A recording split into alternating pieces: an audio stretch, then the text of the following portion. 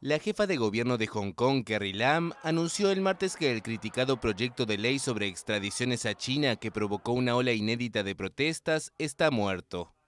Sin embargo, no accedió a las demandas de retirar el texto, una de las reclamaciones de los cientos de miles de manifestantes que salieron a las calles en las últimas semanas. Siguen existiendo dudas sobre la sinceridad del gobierno o preocupaciones sobre el hecho de que el gobierno pueda relanzar el proceso ante el Consejo Legislativo. Así que me gustaría repetir aquí que no existe tal plan. El proyecto de ley está muerto. Un grupo clave de las masivas manifestaciones en Hong Kong contra el proyecto de ley rechazó las declaraciones de la dirigente del Ejecutivo y prometió que habrá nuevas protestas.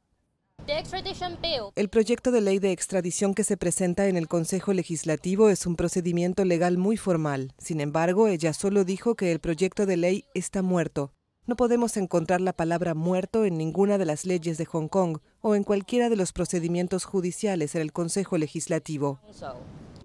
El gobierno de Pekín apoya totalmente a Lam y pidió a la policía que siga persiguiendo a los responsables del asalto al Parlamento y otros incidentes de las últimas semanas.